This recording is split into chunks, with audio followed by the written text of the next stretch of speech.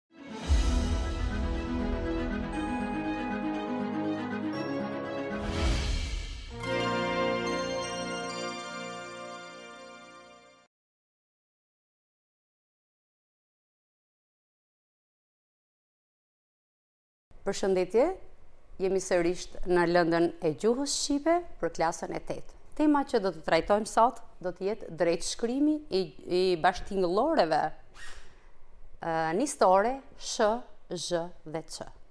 Kur përdoren këto bashkëtingëllore? Le të fillojmë të lexojmë një tekst të caktuar.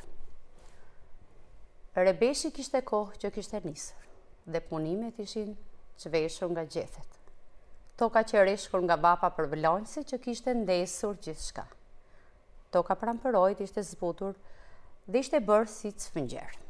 Përroi ishte mbushur dhe kishte dalë nga shtrati duke marrë përpara gjethe të zverdhura, drurë, gurë.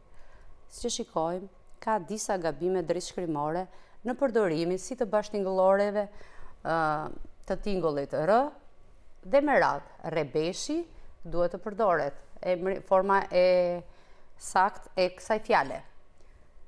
Çë, çveshur,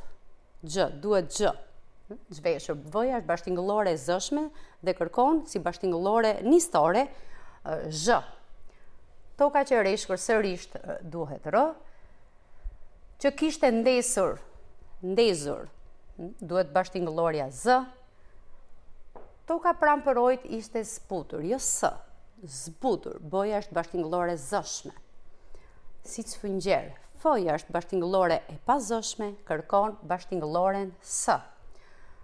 Dhe gjethe të zverdhura, natyrisht vëja është bashtingëllore e zëshme, ndaj kërkon përdorimin e bashtingëllores nistore zë. Po cilat janë rregullat dhe si t'i përdorim saktë bashtingëlloret nistore shë, zhë dhe zë.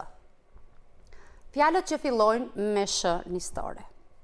Nëse këto fjalë përdoren në gjuhën shqipe. Fjala kur përdoren si parashtesa, por kur ndërtojnë dhe fjalë të re, sh përdoret gjithmonë përpara bashtingëlloreve të pazëshme. Cilat janë bashtingëlloret e pazëshme? F, K, P, Q, T, TH, nëse fjala që vjen pas vazhdon me bashkëtingëllore të pazëshme, atëherë duhet të përdoret sh. Shfajësoj dhe jo çfajësoj. Ç. Jo. Shkarkoj, sh. Shpoj dhe jo çpoj, forma e shkurtuar ç. Asnjëherë sh. Shpoj është forma e saktë. Shqep. Shtjelloj. Shthur. Hm? Jo çthur, që e dëgjojmë në ligjërimin në regjistrin e zakonshëm. Shthur, pra bashkëtingëllorja shë përdoret gjithmonë kur fjala fillon, fjala që vjen pas fillon me një bashkëtingëllore të pazëshme. Por, si gjithmonë kemi përjashtime. Kujdes, kemi disa fjalë që shkruhen me shë dhe kur ndodhen tek bashkëtingëlloret hundore ose të tingullit më, y, ose n. Shmang, shlyej, shndërroj, shndrit. Dhe të gjitha fjalët që vijnë, që formohen prej tyre, do të përdoren me bashkëtingëlloren sh. Kalojmë në drejtshkrimin e fjalëve që kanë zh-në nistore, bashkëtingëlloren zh nistore. Bashkëtingëllorja zh përdoret gjithmonë kur fjala që vjen ka përpara fillon pra me një bashkëtingëllore të zëshme. Cilat janë bashkëtingëlloret e zëshme, i kujtojmë i kemi mësuar edhe në klasë të 6 dhe në klasë të 7, atëherë bashkëtingëlloret e zëshme janë B, D, DH, G, V, GJ, e të tjera. Pra, zhbëj, zhdëmtoj, zhgënjim, zhvendos, kujdes bashkëtingëllorja V është e zëshme, zhgjëndërr, e të tjera. Pra bashkëtingëllorja zh përdoret gjithmonë kur fjala fillon me një bashkëtingëllore të zëshme. Shikojmë fjalët që kanë shpeshherë si parashtesë ç-në dhe ajo zakonisht kur përdoret si nistore në fillim të fjalës duhet të përdoret gjithmonë ç kur fjala fillon me zanore ose me një bashkëtingëllore të tingullt,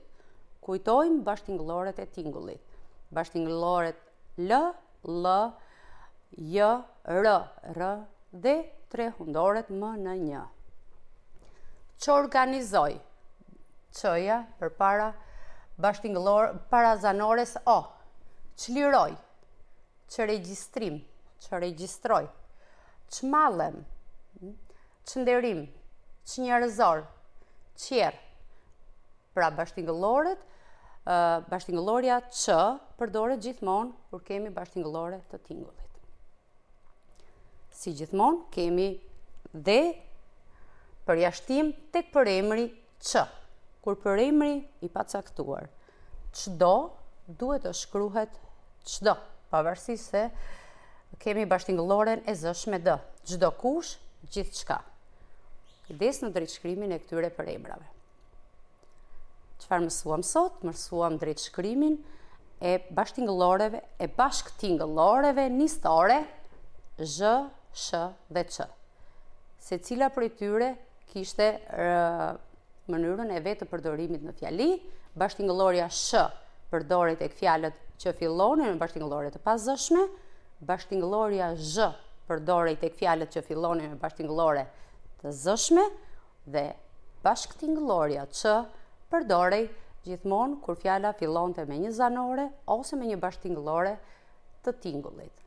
Unë ju falënderoj dhe duhet të kthehemi tek radha juaj. Natyrisht, punoni ushtrimet dhe kontaktoni me mësuesit tuaj sa herë që keni paqartësi. Ju uroj ditë të mbarë dhe mirutakofshim në mësime të tjera. Faleminderit.